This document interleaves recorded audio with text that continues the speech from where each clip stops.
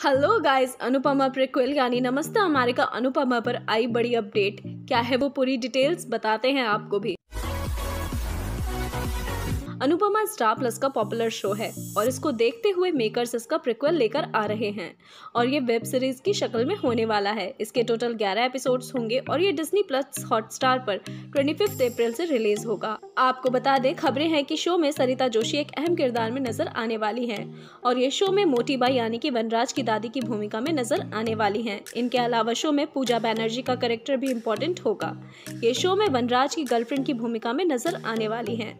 इनके अलावा अरविंद वैद बाबूजी के किरदार में, अल्पना बुज बा के किरदार में, शेखर शुक्ला मामा जी के किरदार में और सुधांशु पांडे, वनराज के किरदार में नज़र आएँगे।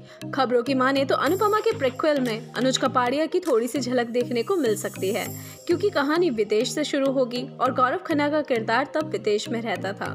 तो गाइस अनुपमा प्रिक्वल यानी नमस्ते अमेरिका अनुपमा पर आई ये बड़ी अपडेट आप इस शो को देखने के लिए कितना एक्साइटेड है, बताएँ हमें नीचे कमेंट सेक्शन में इस वीडियो को लाइक करें शेयर करें चैनल को सब्सक्राइब करें. Thanks for watching